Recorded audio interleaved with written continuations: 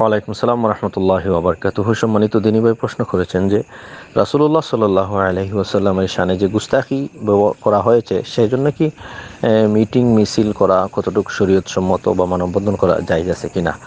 প্রিয় দিনী ভাই, আল্লাহ রসুল সাল্লাহ আলহি আসাল্লাম বলেছেন যে মানরা আমিন কুম্বন করান ফালি ইরহু বিয়াদিহি ফাইনলাম ইয়াস্তাতে ফাবি লিসানি ওয়াইনলাম ইয়াস্তাতে ফাবি কলবি দালিকে আদাফুল ইমান তো যদি কোনো মানুষ খারাপ বা মন্দ কোনো জিনিস দেখে, তখন তার সামর্থ্য অনুযায়ী সে সেটা হাত দ্বারা প্রতিহত করবে। যদি সেটা না পারে, তাহলে মুখ দ্বারা।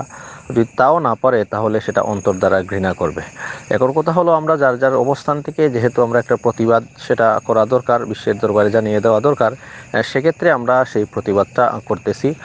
যার কারণে এটা আমাদের মূল উদ্দেশ্য হচ্ছে যারা এই সমস্ত জিনিস করে বেড়াচ্ছে তাদেরকে আমরা একটা জবাব দেওয়া বা বোঝানো যে এটা আসলে রসুল্লাহ সাল্লাহ সাল্লাতামের সঙ্গে গুস্তাখি করা হয়েছে, যার জন্য আমরা ব্যতীত হয়েছি। তো এটা যেহেতু তাদেরকে একটা জবাব দেওয়া, সেজন্য এটা একটা মানববন্ধন আকারে বা একটা মিছিল আকারে সেটা করা হয় আর কি।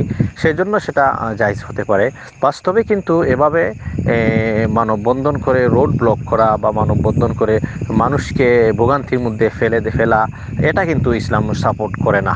যদি এরকম বিষয়াদি না হয় যে মানববন্ধন করার কারণে মানুষের কোনো সমস্যা হচ্ছে না পাবলিকের কোনো সমস্যা হচ্ছে না সেক্ষেত্রে কোনো সমস্যা হবে না ইনশাআল্লাহ। জাজাকাল্লাহ